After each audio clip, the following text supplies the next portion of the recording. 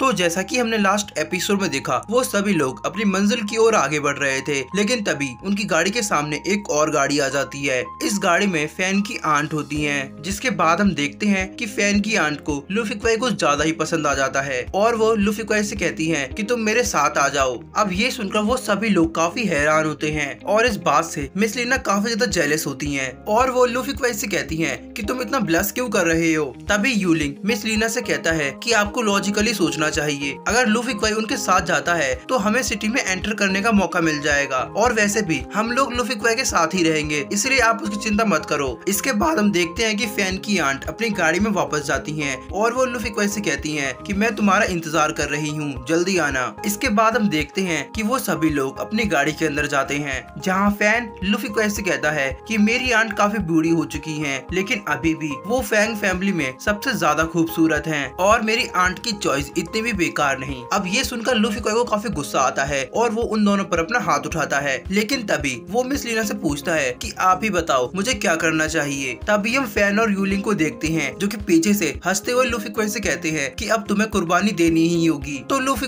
कहता है कि मुझे हेल में नहीं जाना। तभी मिस लीना उससे कहती है कि हमारे पास कोई और रास्ता नहीं है, तुम्हें जाना ही होगा। अब जैसे ही फ़ैन ये सुनता है तो वो लुफी को धक्का मारता है और लुफी उड़ता हुआ सीधे उसकी आंट की गाड़ी में जाकर गिरता है। उसकी आंट लुफी को अपने पास देखकर काफ़ी खुश होती है और वो उसकी खूबसूरती की तारीफ़ करने लगती है। लूफी क्वाई भी अपनी तारीफ़ सुनकर काफ़ी खुश होता है और वो ब्लस करने लगता है। इसके बाद वो लूफी क्वाई से कहती है की मैं तुम्हें कुछ दिखाना चाहती हूँ और वो लूफी क्वाई के सामने जाकर खड़ी होती है। इसके बाद हम देखते हैं की उसकी आंट व्हाइट क्रेन में बदल जाती है। इसके बाद हमें पता चलता है की असल में वो व्हाइट क्रेन था जिसने उसकी आंट का रूप ले रखा था। अब लूफी क्वाई उसको अपने सामने देखकर काफ़ी डर जाता है और वो चिल्लाने की कोशिश करता है। लेकिन तभी व्हाइट क्रेन अपनी स्वॉर्ड उसके गले पर रखता है और उससे चिल्लाने के लिए मना करता है। इसके बाद व्हाइट क्रेन उसके प्रेशर पॉइंट पर अटैक करके उसे बेहोश कर देता है। इसके बाद व्हाइट क्रेन उस लेडी की बॉयज़ में अपने सिपाहियों से कहता है कि, जल्दी चलो यहाँ से। हम लोग ऑलरेडी काफ़ी लेट हो चुके हैं। इसके बाद हम देखते हैं कि वो लोग अपनी गाड़ी को वापस ले जाने लगते हैं। तभी मिस लीना भी अपनी गाड़ी को उनके पीछे लगा देती है। लेकिन तभी मिस लीना को कुछ शक होता है, क्योंकि उनकी गाड़ी की स्पीड धीरे धीरे करके काफ़ी तेज हो रही थी। मिस लीना भी जल्दी से उसका पीछा करती है, लेकिन तभी अचानक से स्मोक आता है और वो गाड़ी वहीं पर गायब हो जाती है।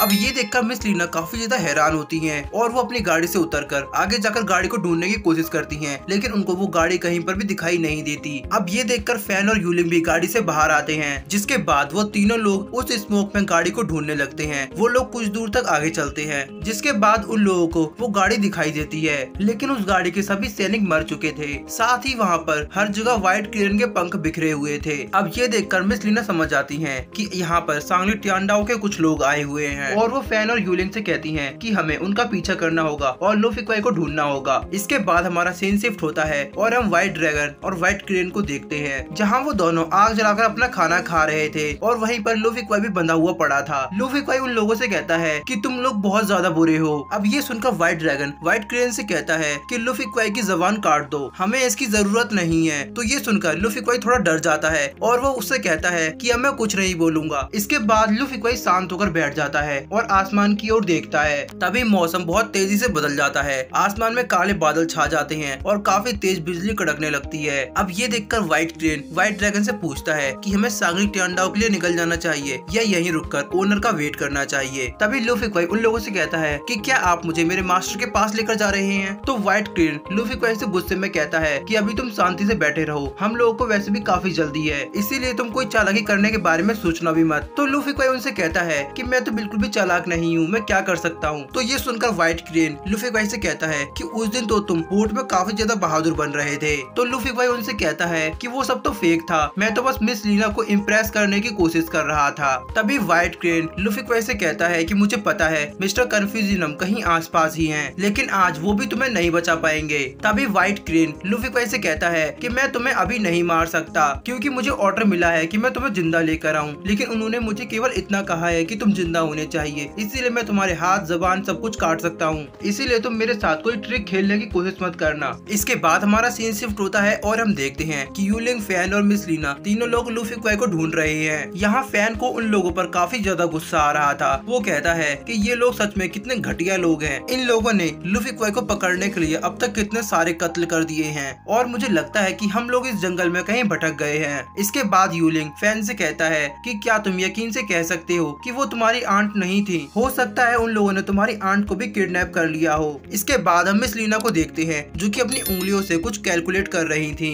तभी यूलिंग मिस लीना से कहता है कि आपको आराम कर लेना चाहिए, क्योंकि जब तक सूरज नहीं निकल आता, हमें किसी डायरेक्शन का पता नहीं चलेगा। इसके बाद मिस लीना फ़ैन से कहती है कि तुम्हें पता कैसे नहीं चला कि वो तुम्हारी आंट है या नहीं। तभी यूलिंग भी फ़ैन से यही सवाल करता है। तो फ़ैन उनको बताता है कि मैं काफ़ी से अपने घर वापस लौट कर नहीं गया। इसीलिए मुझे उनको पहचानने में गलती हो गई। लेकिन मुझे इतना याद था कि मेरी आंट को खूबसूरत लोग काफ़ी पसंद आते हैं। तो मुझे लगा था कि वही मेरी आंट होंगी। तभी फ़ैन यूलिंग से कहता है कि तुम चिंता मत करो, मेरी आंट को तुम ज़रूर पसंद आओगे। तो यूलिंग उसको दूर हटाते हुए कहता है कि तुम अपना मुँह बंद रखो। इसके बाद हमारा सीन शिफ्ट होता है और हम फिर से व्हाइट ड्रैगन और व्हाइट क्रेन को देखते हैं। लूफी क्वाई उन लोगों के सामने तड़प रहा था और वो उनसे कहता है कि मेरे पेट में बहुत तेज दर्द हो रहा है। प्लीज़ मेरी रस्सियाँ खोल दो। तो ये सुनकर व्हाइट क्रेन लूफी क्वाई से कहता है, क्या तुम्हें भूख लग रही है? तुम चाहो तो मैं तुम्हें अपने हाथों से खाना खिला सकता हूँ। तो ये सुनकर लूफी क्वाई व्हाइट क्रेन से कहता है कि मुझे तुम्हारा खाना नहीं खाना। तभी व्हाइट क्रेन लूफी क्वाई से कहता है कि तुम कितना ज़्यादा बेशर्म हो। तभी लूफी क्वाई उससे गुस्से में कहता है कि मैं नहीं, बल्कि तुम बेशर्म हो। तुमने एक लेडी का रूप लेकर मुझे किडनैप किया है। तो ये सुनकर व्हाइट क्रेन को काफ़ी गुस्सा आता है और वो लूफी क्वाई से कहता है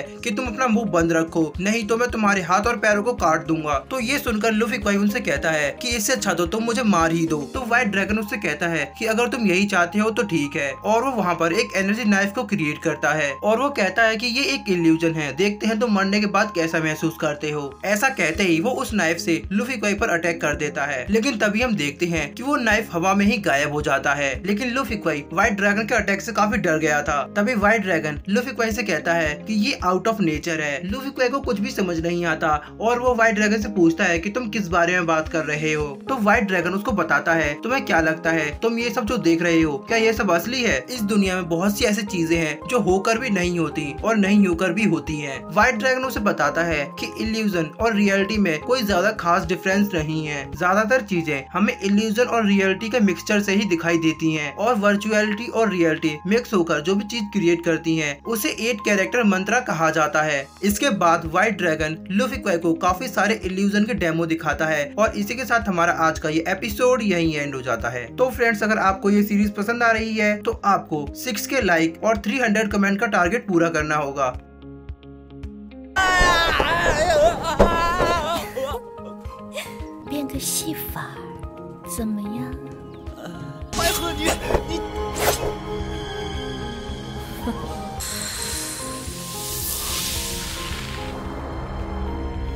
这次我的苏姑父可有福了。下流！反正他的舌头留着也没用。要死了，要死了！快点放开我，我吃坏肚子了。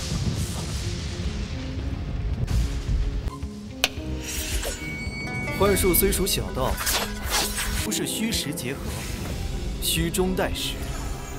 幻术讲，每一字都蕴含着真、实、方、圆、近。